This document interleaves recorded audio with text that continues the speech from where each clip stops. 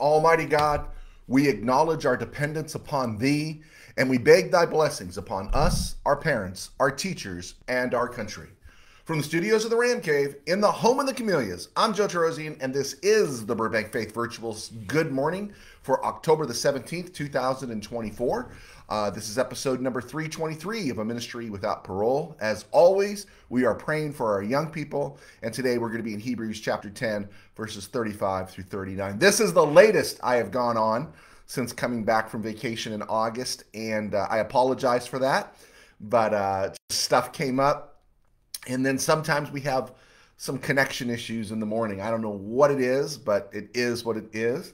Uh, wonderful overcast day. Felt very autumny here, and I hope it feels like that for the next six months with some rain, dusting of snow. I want it cold. I want it wet. I want it gloomy. Uh, that's a holiday season for me. Okay, Hebrews chapter 10, verses 35 through 39. Mr. Burns, loyal Burbank Faith Virtual follower, loves the book of Hebrews. So do we. Uh, and here we go. Remember, this is not Paul writing. No one knows who the author of uh, Hebrews is. Uh, but uh, there's a lot of good stuff in there. It's a great debate to get into. All right, uh, let's get cracking here. Again, I can't see you all the time when you're on, so leave a comment, leave a like, and say hey, and uh, we'll go from there. Hebrews chapter 10, verses 35 through 39. So do not throw away your confidence, it will be richly rewarded. You need to persevere so that you may have done the will of God you will receive what he has promised.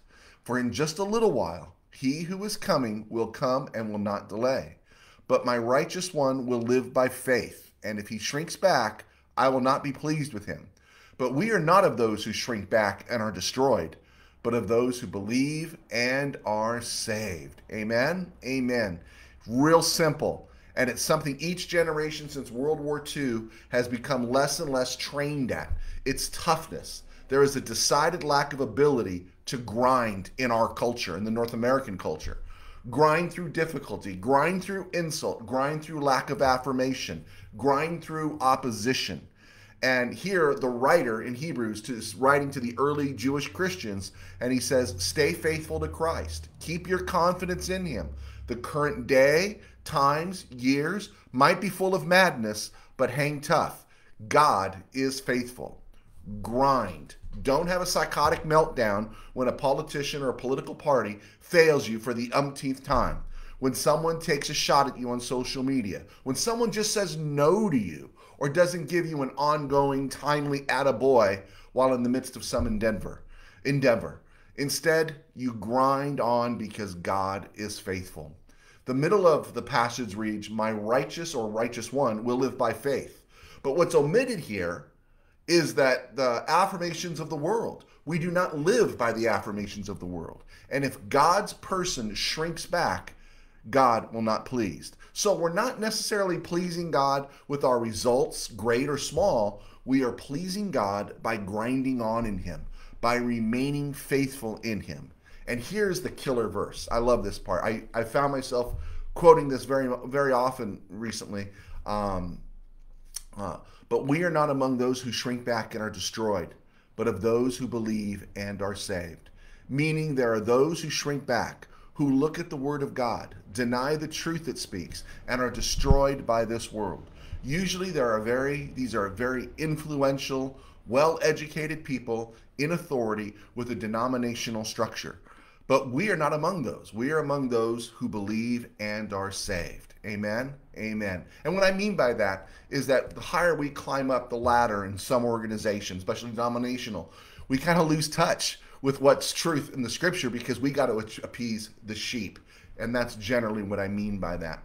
Uh, confidence is something we need to keep. We all grind on, you know, as the Beatles sang, like the sun, the moon, and the stars, right? Or was that John Lennon? We all grind on. I think that's John Lennon.